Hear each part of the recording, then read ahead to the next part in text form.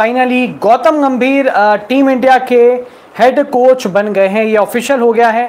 जय शाह ने अपने सोशल मीडिया अकाउंट पर पोस्ट करके ये बता दिया है कि गौतम गंभीर अब टीम इंडिया के नए हेड कोच होंगे और काफ़ी लंबा चौड़ा जो पोस्ट है वो आ, जयशाह ने लिखा है अपने सोशल मीडिया अकाउंट पे। साथ ही साथ राहुल द्रविड़ को भी वहाँ पर थैंक यू कहा है।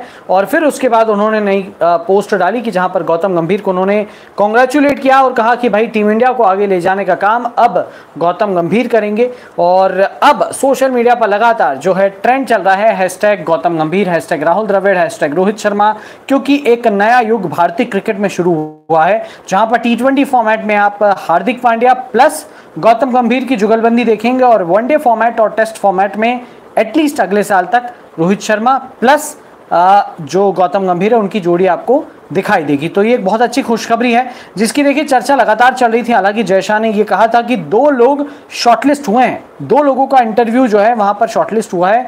दो लोग, दो कैंडिडेट्स या दो उम्मीदवार कहीं इस कोच के पद के लिए हुए थे। अब दूसरे कौन थे, वो तो खैर बाद में पता चल जाएगा, पर पहले गौतम गंभीर ज़रूर थे, इस बात का पता लग गया और गौतम गंभीर ही फाइनली टीम इंडिया के नए हेड कोच होंगे। जो मीडिया ने इतने समय से लगातार रिपोर्ट की थी, वो सब सच साबित हुआ है कि अब गौतम गंभीर टीम इंडिया के नए हेड कोच बनेंगे और ये चीज़ जय शाह ने खुद अपने सोशल मीडिया अकाउंट से कंफर्म कर दी है, यानी कि अब भारत का जो नया युग है, वो गौतम गंभीर वाला एरा होगा। वो गौतम गंभीर जिन्होंने 2007 के टी ट्वेंटी वर्ल्ड कप में हिस्सा लिया था और वहाँ पर भारत जीती थी। 2011 वर्ल्ड कप भी वो भारत के लिए खेले और वहाँ पर भी भारत जीती थी। और के को अपनी कप्तानी में दो बार चैंपियन बनाया, फिर कोचिंग में भी मतलब मेंटरशिप में भी एक बार पिछले साल ही मतलब इसी साल ही माफ़ कीजिएगा चैंपियन बनाया और अब देखिए गौतम गंभीर ने एक नया रोल अपनी ज़िंदगी में ले लिया है, जहाँ पर वो भारतीय टीम के हेड कोच बनेंगे। कितना बड़ा सपना होगा गौतम गंभीर का भी कि किसी दिन मैं टीम इंडिया को कोचिंग करूँगा और मैं अपने तरीके से चीज़ों को हैंडल करूँगा। तो अब अब ना बड़ा इंटरेस्टिंग मैं मतलब ये फ़ेज़ देखने के लिए बहुत एक्साइटेड हूँ कि गौतम गंभीर किस तरह से टीम को चलाते हैं। क्या वो स्टार प्लेयर्स वाला कल्चर ख़त्म करते हैं? क्या वो सीनियर प्लेयर्स वाला कल्चर ख़त्म करते हैं?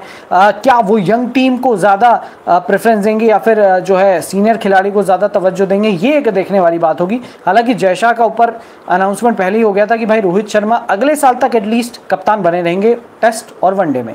और टी की कप्तानी जहाँ तक माना जा रहा है कि हार्दिक पांड्या को मिल सकती है। पर अब तक ऑफिशियल कंफर्मेशन नहीं है, पर जल्दी हो सकता है कि ये भी अनाउंसमेंट हो जाए कि हार्दिक पांड्या भारत के अगले टी के कप्तान होंगे।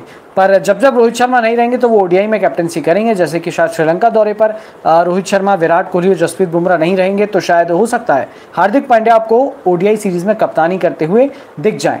पर ये जो गौतम गंभीर वाला जो युग है ना, वो बड़ा इंटरेस्टिंग होने वाला है भाई, क्योंकि आपको पता है गौतम गंभीर वर्सेज विराट कोहली किस तरह से चीज़ें चली थी इस साल भी और जिस तरह से हालाँकि बाद में सब चीज़ें ठीक हो गई थी बट मतलब पिछले साल जो चीज़ें चली थी और इस बार तो देखिए इन दोनों के बीच दोस्ती हो गई थी और उससे पहले 10 साल पहले 2013 में इनके बीच लड़ाई हुई थी तो अक्सर गौतम गंभीर, विराट कोहली पर भी काफ़ी बयान देते रहते हैं। तो बड़ा इंटरेस्टिंग ये फ़ेज़ रहेगा जहाँ पर रोहित शर्मा, विराट कोहली, ये दोनों गौतम गंभीर के अंडर रहेंगे। अब क्या गौतम गंभीर वो स्टार प्लेयर वाला कल्चर करेंगे, खत्म करेंगे? सबसे बड़ा सवाल यही है। क्योंकि हमने देखा है जनरली स्टार कल्चर वाला जो यहाँ पर स्टार प्लेयर वाला जो कल्चर है, वो भारतीय टीम में बहुत ज़्यादा है। तो क्या गौतम गंभीर इस चीज़ को ख़त्म करेंगे? क्योंकि गौतम खुद इस चीज़ के खिलाफ थे कि भाई किसी भी इंडिविजुअल को उतनी प्रेफरेंस नहीं मिलना चाहिए जो टीम को मिले।